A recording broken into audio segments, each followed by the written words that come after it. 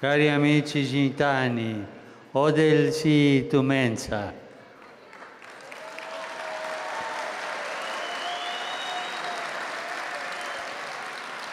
Molti di voi vengano da lontano e hanno fatto un lungo viaggio per arrivare qui.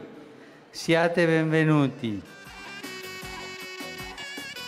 È arrivato il tempo di sradicare pregiudizi secolari, preconcetti reciproche diffidenze che spesso sono alla base della discriminazione, del razzismo e della xenofobia.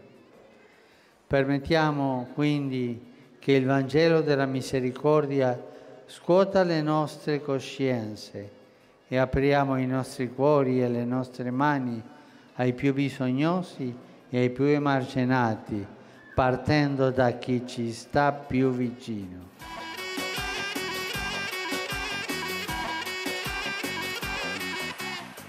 Vedo qui in aula molti giovani e molti bambini. Sono il futuro del vostro popolo, ma anche della società in cui vivono. I bambini sono il vostro tesoro più prezioso. La vostra cultura oggi è in fase di mutazione.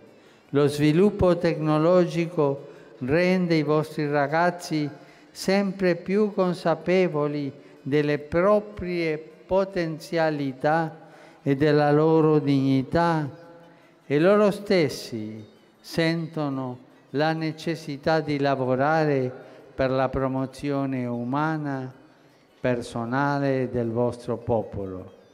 Questo esige che sia loro assicurata un'adeguata scolarizzazione.